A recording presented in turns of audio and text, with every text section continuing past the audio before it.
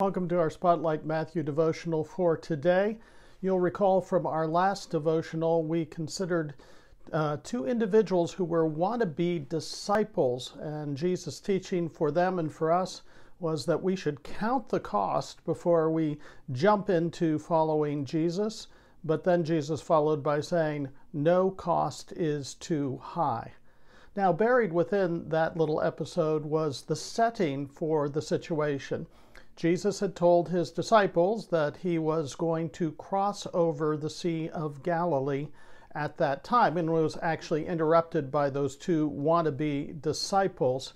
Sea of Galilee, once again, about 13 miles from north to south, seven miles from east to west. Jesus was probably in the northwest up near Capernaum and was going to cross over to the southeast corner. So, with that little interruption over, we pick up the narrative of Jesus and his disciples finally now getting into the boat to make their journey across the Sea of Galilee. We pick up in chapter 8 with verse 23 in today's devotional. And when he, that's Jesus, got into the boat, his disciples followed him. And behold, there arose a great storm at sea, so that the boat was being swamped by the waves. But he was asleep. And the disciples went and woke him, saying, Save us, Lord, we are perishing. And he said to them, Why are you afraid, O you of little faith? Then he arose and rebuked the wind and the sea, and there was a great calm. And the men marveled, saying, What sort of man is this, that even the wind and the waves obey him? Well, interestingly, we have this little episode with Jesus in which he is fast asleep in the stern of the boat. You know, you've heard the old saying, he could sleep or she could sleep through anything. Well, this would be a beautiful illustration of it. Here the wind has come up, the waves have come up, the boat is being swamped.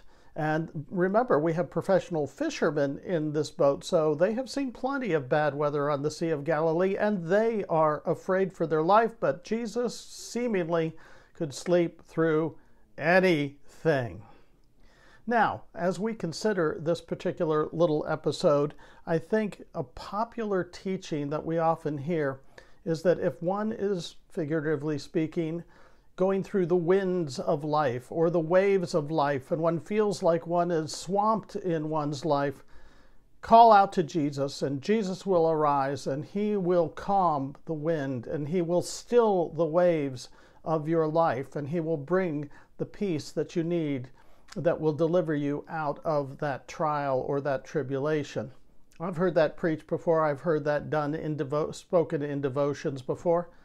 But I think it's really just a little bit off what is being taught to us through this episode. Because what I want us to notice in this is that the life lessons as we learn to live and live to serve has to do more with how Jesus wants us to live, not when he calms the wind and the waves of life, but more so how he wants us to live in the midst of the wind and the midst of the waves that beset us so regularly in daily life. He wants to show us how to live during the storm, not how he wants us to trust him to alleviate the storms or to calm the storms necessarily that we face in our lives. Because I want you to notice that Jesus addresses his disciples not after he has calmed the wind and the waves he addresses them in the midst of it. They say, Lord, we're going to perish. Don't you care? We're all going to die here.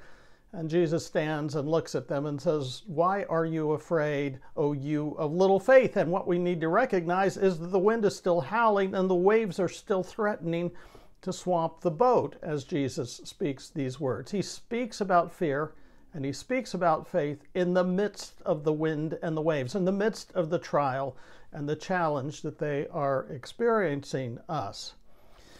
And he says to them, Don't be afraid. Even when the wind is still up and even when the waves are still battering the boat, Don't be people of little faith. In fact, the Greek word is a single word there. oligopistos. oligopistos. You little faiths is literally what Jesus says to them. Don't be little faiths. Grow in your faith, a faith that overcomes fear in the midst of the storms. And even as these disciples were in the midst of a literal storm, we know that we go through figurative storms in life.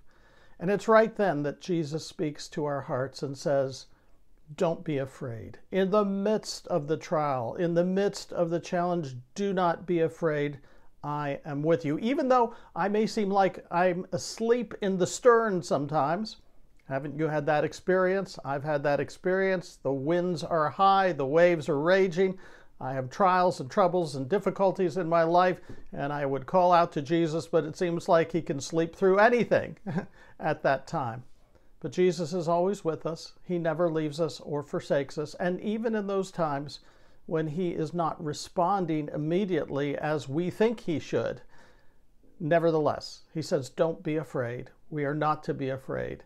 He tells us not to be those of little faith, but to be those who have great faith in Him. So I want to ask you today what is your storm in life? Where are the winds of life buffeting you? Where are the waves high and seeming as though they threaten to swamp the ship of your life? You need to listen to Jesus even now in the midst of the storm, saying, Don't be afraid, but grow in faith. Do not look to Jesus necessarily and say, Calm the storm remove the problem, deliver me from the situation. I don't know about you, but for me, I do pray that prayer too, and it's a fine prayer. And Jesus does then eventually calm the wind and the waves. But sometimes Jesus doesn't do that, does he? I've had plenty of occurrences where I've called out and he has calmed the wind and the waves, but I've also had plenty where he does not do that for me. But whether he does or whether he doesn't, he always calls me and he always calls you to not fear and to not be little faiths, but to grow in our faith until he decides that he will remove the trial and the challenge. You know, in closing, there's a, an illustration of this from church history. One of the great hymn writers of the Protestant church is a man named William Cowper. Now it's spelled C O W P E R, but it's pronounced Cooper, not Cowper, who lived from 1731 till 1800.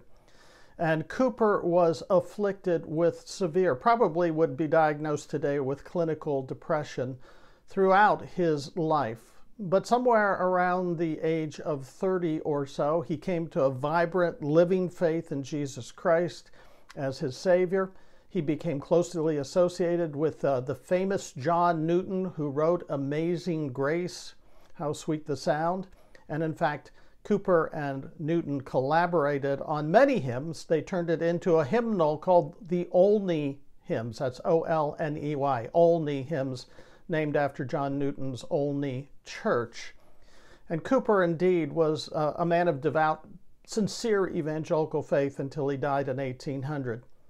But here's the thing Cooper was not immediately delivered from his fight, his battle with depression, because he accepted Christ as Lord and Savior. He continued to be thwarted by it and challenged by it, to consider even taking his life at points along the way. But people like Newton and others came around alongside him and encouraged him. They nurtured and strengthened and helped him through as William Cooper continued to learn not to be afraid, even in the face of the wind and the waves of depression, and to grow in his faith until the battle was over and the wind stopped and the waves ceased when he breathed his last and went home to Jesus in 1800. So I want to ask you again what is your storm? What are your waves? Where is the wind in your life? Turn to Jesus and do so listening to some of the famous words of William Cooper in a hymn that he wrote in 1779 Light shining out of the darkness. Listen to Cooper's words God moves in a mysterious way, his wonders to perform. He plants his foot upon the sea. You see the reference to our passage here. He plants his foot upon the sea and moves upon the storm. You fearful servants, fresh courage take. The clouds you so much dread are big with mercy, and they shall break with blessings on your head. That's Spotlight Good News for today. Check us out on Facebook and share us with others, and we'll talk to you next time.